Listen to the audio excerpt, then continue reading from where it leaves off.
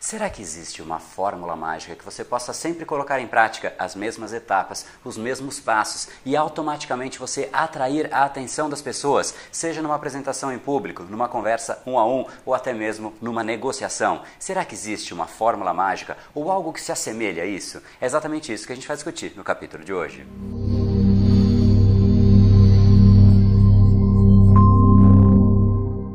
Fala pessoal, André do Brain Power, Academia Cerebral, criador do método Neuropersuasão. E esse é mais um dos capítulos diários da série do Brain Power, mas a gente vai discutir hoje neuropersuasão. Será que existe essa tal fórmula mágica ou algo que se assemelhe a uma fórmula para sempre que você colocar isso em prática, você automaticamente atrair a atenção das pessoas ao seu redor? Porque é exatamente isso que a persuasão faz. A gente consegue atrair a atenção das pessoas. Esse ativo que hoje em dia é um dos mais difíceis de você de fato conseguir atrair para você com essa infinidade infinidade de informações que fazem parte da nossa rotina, com essa infinidade de mensagens que chegam no nosso celular, com essa infinidade de e-mails. De fato, é muita informação chegando ao mesmo tempo. Por que é que será que uma pessoa vai prestar atenção na sua informação? Será que existe uma fórmula mágica para você utilizar, colocar em prática sempre os mesmos passos e automaticamente você receber a atenção das outras pessoas? E desde esse ponto inicial, eu já quero te garantir que não existe uma fórmula mágica. A própria premissa por trás de uma fórmula mágica, que é algo que você possa sempre repetir da mesma maneira e atrair a atenção das pessoas,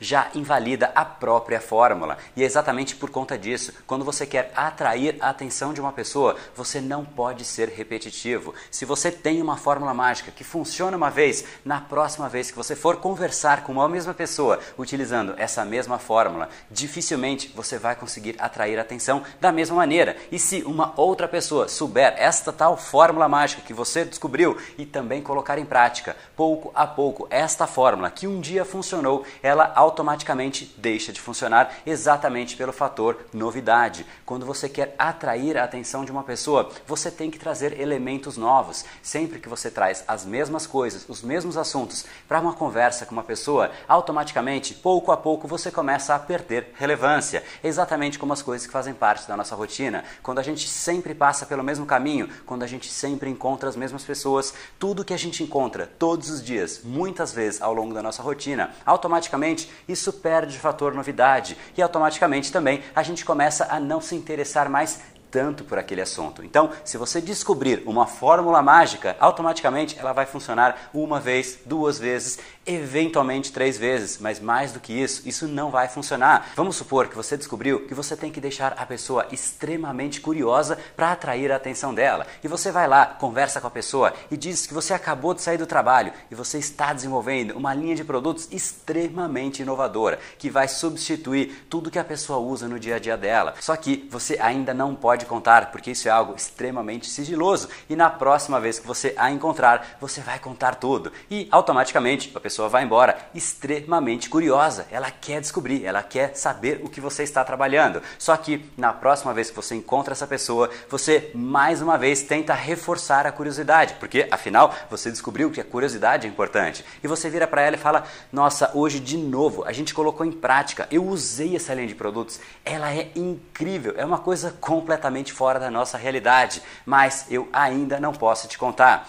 Neste momento, aquele fator curiosidade já não é mais tão interessante. A pessoa já começa a ficar meio irritada com você. Imagina se você faz isso três vezes, quatro vezes, cinco vezes. Na sexta vez que você vira para a pessoa e fala: Nossa, eu estou desenvolvendo uma linha de produtos extremamente inovadora, ela já não quer mais nem falar com você. Vai chegar no momento em que ela vai encontrar você e vai atravessar a rua, porque você é a pessoa que sempre vem trazer uma curiosidade, alguma coisa, mas você nunca entrega o real fato. E você não é uma pessoa interessante interessante exatamente por isso. Então, se a curiosidade, num primeiro momento, foi sim algo que despertou o interesse na pessoa, num segundo momento, a mesma curiosidade já vai começar a fazer com que esse interesse todo comece a cair por terra. Então, você tem que trazer um novo elemento. E aquela fórmula mágica que funcionou no primeiro momento já não mais funciona num segundo momento. E é exatamente por isso que fórmulas mágicas não funcionam para persuasão. André, então o que é que funciona? Se uma fórmula não funciona, quais são os elementos que eu realmente preciso entender, quais são os elementos que eu realmente preciso dominar para ter acesso ao cérebro das outras pessoas, para ganhar um espaço cativo dentro do cérebro das pessoas, neste mundo em que a atenção das pessoas é quase que disputada à tapa.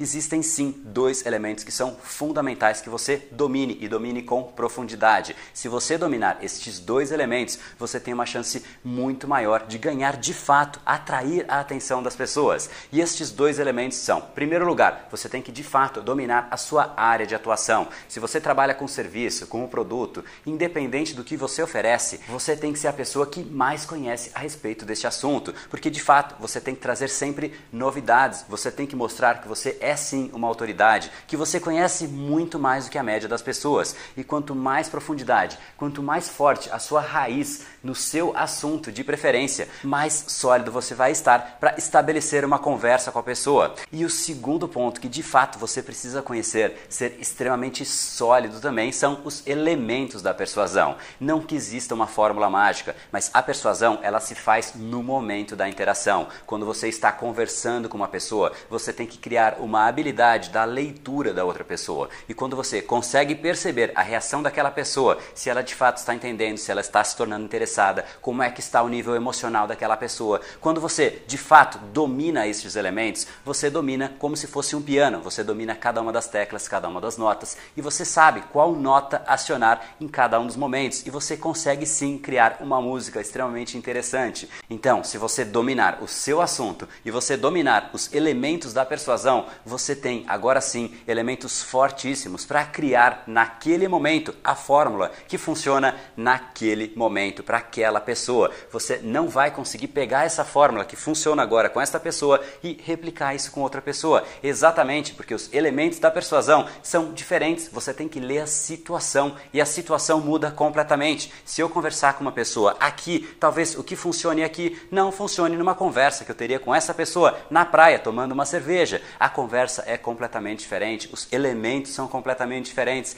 e é exatamente por isso que o que você precisa conhecer é em profundidade a sua área de atuação. Isso nunca tem limite, você realmente precisa conhecer mais e muito mais do que a média das pessoas. Quanto mais você conhecer, mais de fato você se torna uma referência. E você sendo uma referência, você ganha autoridade para sugerir coisas, para direcionar a pessoa, inclusive para dizer o que é melhor para ela dentro daquele território. E o outro lado é você de fato conhecer os elementos da persuasão, porque ao mesmo tempo que você percebe o que pode ser interessante para aquela pessoa, você aqui sabe como canalizar essa informação, como canalizar os desejos da outra pessoa. E é exatamente isso que a neuropersuasão oferece. Como é que você pode entender o que está passando no cérebro da outra pessoa? Quais são as áreas que você precisa estimular? Quando você percebe que uma pessoa não está tão envolvida emocionalmente no que você está falando, como é que você desperta essa emoção nessa pessoa? É exatamente isso que a neuropersuasão pode te oferecer. Então, André, existe uma fórmula mágica? Não, eu rechaço essa ideia. Não existe uma fórmula mágica, porque isso nunca vai poder ser replicado para uma outra pessoa, ou mesmo para a mesma pessoa numa outra situação que seja completamente diferente. O que existe é a solidez nestes dois pontos que a gente conversou, na sua área de atuação e nos elementos da persuasão, para de fato você entender o que está passando no cérebro da outra pessoa. E é exatamente para isso que eu te convido. Em algum lugar aqui nessa tela tem um botão para você clicar, assinar e automaticamente você vai fazer parte dessa jornada, dessa série de 365 dias, 365 vídeos com uma nova sacada, com um novo insight, para você conhecer tanto o seu próprio cérebro como o cérebro das outras pessoas, para você conseguir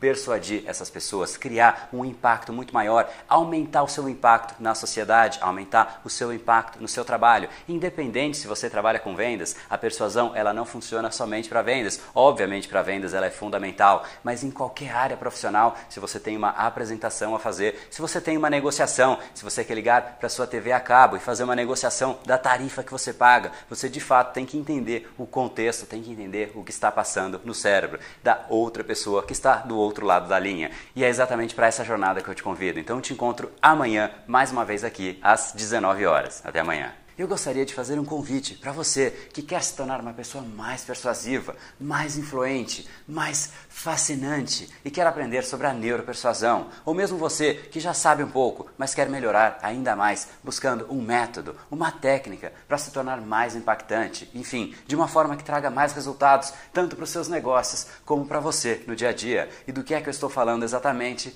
Eu estou falando da Semana da Persuasão, um evento online e totalmente gratuito para a gente aprofundar muito em neuropersuasão, com aulas gravadas, aulas ao vivo, materiais em PDF para baixar e você aprender métodos e técnicas da neuropersuasão para você persuadir, influenciar, fascinar as pessoas. Quando você começar a colocar em prática, você vai ficar surpreso. É exatamente isso que acontece com os meus alunos. E para participar é muito simples. Em algum lugar aqui nesse vídeo tem um link para neuropersuasão.com.br. É muito fácil. Você clica nesse link e você vai cair em uma página super simples em que você coloca o seu nome e o seu e-mail e automaticamente a confirmação vai para o seu e-mail dizendo que você está oficialmente cadastrado na Semana da Persuasão. Esse é um evento que ocorre uma ou duas vezes ao ano e assim que ele for começar, eu mesmo, André, vou te mandar um e-mail para te avisar. Então, salve o meu e-mail nos seus contatos para o convite não se perder. Você vai ver que quando se tem um método, persuadir é muito mais fácil do que parece. Então a gente se vê na Semana da Persuasão. Até lá!